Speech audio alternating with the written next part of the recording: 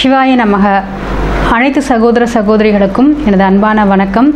நான் ஜோதிடர் எஸ்கே வாணி சுந்தரராஜன் பேசுகிறேன் இப்போ இந்த பதிவில் நம்ம பார்க்க போகிற விஷயம் என்ன அப்படின்னு பார்த்தீங்கன்னா இரண்டாயிரத்தி இருபத்தி நான்காம் ஆண்டிற்கான புத்தாண்டு பலன்கள் பற்றி தான் பார்க்க போகிறோம் பன்னிரெண்டு ராசிகளுக்கும் இந்த இரண்டாயிரத்தி இருபத்தி நான்காம் ஆண்டு எப்படி இருக்கும் அப்படின்றத பற்றி தான் பார்க்க போகிறோம் துலாம் ராசி நேயர்களுக்கான இரண்டாயிரத்தி இருபத்தி நான்காம் ஆண்டிற்கான புத்தாண்டு பலன்கள்.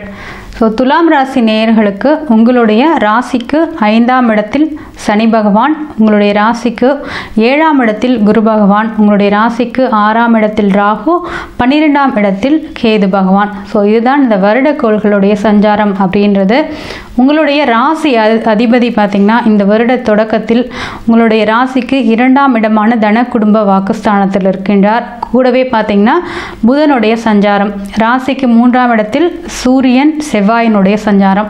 துலாம் ராசி நேயர்களை பொறுத்த வரைக்கும் ஒரு மிக சிறப்பான ஒரு வருடமாகத்தான் உங்களுக்கு இருக்கும். ஏன்னா உங்களுடைய ராசிநாதன் சுக்கரனை பொறுத்த வரைக்கும் தனஸ்தானத்தில் தான் இருக்கிறாரு. ஸோ தனஸ்தானத்தில் இந்த ஒன்பதாம் அதிபதி பாக்கியாதிபதியான புதனுடன் சேர்ந்து இருக்கிறது அப்படின்றது மிக ஒரு சிறப்பான அமைப்பு. குடும்பத்துக்கு நிறைய செலவு பண்ணுவீங்க இந்த வருஷம். ஏன்னா பன்னெண்டாம் அதிபதியோட சேர்க்கை பெற்று இந்த தனஸ்தானத்தில் இருக்கிறதுனால நிறைய புதிய புதிய விஷயங்கள் வந்து உங்களுக்கு கிடைக்கும்.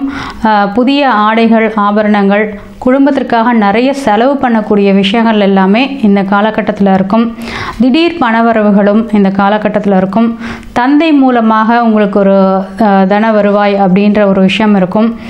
மூன்றாம் இடத்துல பார்த்தீங்கன்னா சூரியன் செவ்வாய் அப்படின்ற அமைப்பு. உங்களுடைய ராசிக்கு பதினோராம் அதிபதியான சூரியனும் உங்களுடைய ராசிக்கு ஏழாம் அதிபதியான செவ்வாயும் இந்த மூன்றாம் இடத்துல இருக்காங்க.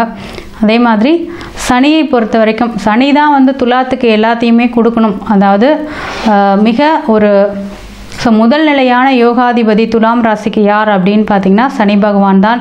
சனி பகவானுடைய சஞ்சாரம் அஞ்சாம் இடத்துல இருக்கிறது அப்படின்றது சிறப்பான ஒரு பலன்கள் தான். ஸோ குழந்தை வழியில் ஒரு மனமகிழ்ச்சி அப்படின்றது இருக்கும். அஞ்சாம் இடத்துல வந்து சனி குழந்தை பிறப்பை தாமதப்படுத்தினாலும் கண்டிப்பாக அடுத்தது சனி வந்து உங்களுக்கு கோச்சாரத்தில் இப்போ மீனராசிக்கு சஞ்சாரம் செய்யறதுக்குள்ளே ஒரு குழந்தை பேரை கண்டிப்பாக கொடுத்து விடுவார். ஜனனகால ஜாதகத்தில் கிரகங்களுடைய தசாபுக்தியோட சப்போர்ட் அப்படின்றது உங்களுக்கு இருந்தது அப்படின்னா கண்டிப்பாக அந்த குழந்தை பாக்கியம் அப்படின்றது கிடைக்கும். ஏழாம் இடத்துல பார்த்தீங்கன்னா குரு பகவானுடைய சஞ்சாரம். ஸோ ஏழாம் இடத்துல உங்களுடைய ராசிக்கு மூன்று ஆறுக்குரிய இந்த குரு பகவானுடைய சஞ்சாரம். ஸோ லைஃப் பார்ட்னர் விஷயத்தில் மட்டும் கொஞ்சம் கவனமாக இருந்துக்கோங்க. ஏன்னா அந்த ஆறாம் அதிபதி அப்படின்றது ஏழில் வர்றதுன்றது அவ்வளோ ஒரு சிறப்பான நிலை அப்படின்றது கிடையாது. தேவையற்ற ஒரு பிரச்சனைகளை தேவையற்ற ஒரு வாக்குவாதங்களை அப்படின்றது வந்து உருவாக்கும். என்னதான் குரு சுபர் அப்படின்னாலுமே துலாம் ராசிக்கு என்னதான் குரு பகவான் என்பவர் பூரண சுபர் என்றாலும் துலாம் ராசிக்கு ஒரு சில கடுமையான விளைவுகளை தரக்கூடியவர் தான் இந்த குரு பகவான். ஸோ அதனால் லைஃப் பார்ட்னர் விஷயத்துலையும் சரி நீங்கள் கூட்டு தொழில் பண்ணுறீங்க புதிதாக ஒரு தொழில் தொடங்குற விஷயங்கள்லையுமே கவனமாக இருக்கிறது அப்படின்றது சிறப்பான விஷயம். ஆறாம் இடத்துல இருக்க ராகு பகவான். ஸோ ஆறாம் இடத்துல ராகு இருக்கிறது அப்படின்றது ருணரோக சத்ருஸ்தானம் இந்த ஆறாம் இடம். ஸோ பா பாவகிரகம் தான் இயற்கை பாவரான இந்த ராகு ஆறாம் இடத்துல மறையிறது அப்படின்றது உங்களுக்கு ஒரு சிறப்பான நிலையை தான் ஏற்படுத்துவார். அதாவது உங்களுக்கு எதிரிகளுடைய பிரச்சனைகளை வந்து குறைப்பார். ஸோ இவ்வளோ நாள் உங்களை எதிர்த்து செயல்பட்டவர்கள் எல்லாம் இப்பொழுது உங்களுக்கு அடங்கி செல்லக்கூடிய ஒரு விஷயம் அப்படின்றது வந்திருக்கும். ஸோ அந்தளவுக்கு வந்து வேலையில் உங்களுடைய ஒரு முன்னேற்றங்கள் அப்படின்றது வந்து இருக்கும். அதே மாதிரி புதிதாக கடன் கிடைக்கக்கூடிய ஒரு விஷயங்களும் வந்து இந்த காலகட்டத்தில் உங்களுக்கு இருக்கும். ஸோ குருவை பொறுத்த வரைக்கும் குரு குருவினுடைய பார்வை அப்படின்றது சுபத்தன்மையை தரக்கூடியது. உங்களுடைய ராசிக்கு பதினோராம் இடத்தையும் இந்த குரு பகவான் பார்வையிடுகின்றார். அதே மாதிரி பார்த்திங்கன்னா உங்களுடைய ராசி ராசிக்கு மூன்றாம் இடம். ஸோ இது எல்லாமே வந்து இந்த மூன்று இடங்கள்லையுமே குரு பகவானுடைய பார்வை விழறதுனால நீங்கள் செய்யக்கூடிய முயற்சிகள் அப்படின்றது கண்டிப்பாக சக்ஸஸ் ஆகும். ஸோ அதனால் எந்த முயற்சிகள் எடுத்தாலும் நீங்கள் மனம் தளராமல் பண்ணீங்க அப்படின்னா அது ஒரு சிறப்பான ஒரு மாற்றங்களை வந்து உங்களுக்கு உண்டாக்கும்.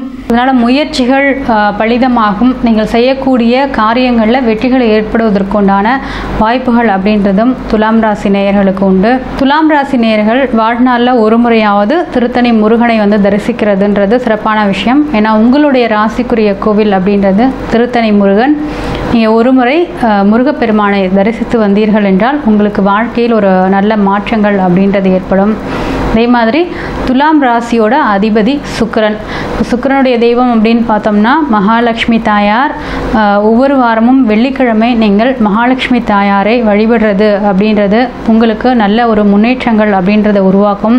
ஸோ மகாலட்சுமி தாயாரை வழிபடக்குள்ள எப்பொழுதுமே பார்த்தீங்கன்னா வெள்ளை நிற மலர் வைத்து வழிபடுங்கள். அதே மாதிரி அந்த மலர் அப்படின்றது வாசனை மிக்கதாக இருக்க வேண்டும். வெள்ளை நிற இனிப்பு வகைகள் அதே மாதிரி நட்ஸ் பார்த்தீங்கன்னா ஸோ முந்திரி பாதாம் பிஸ்தா இந்த மாதிரி நட்ஸு இதெல்லாம் வைத்து வழிபட்டீர்கள் என்றால் உங்களுக்கு ஒரு நல்ல ஒரு நல்ல ஒரு பாசிட்டிவான ஒரு எனர்ஜி அப்படின்றது கிடைக்கும்.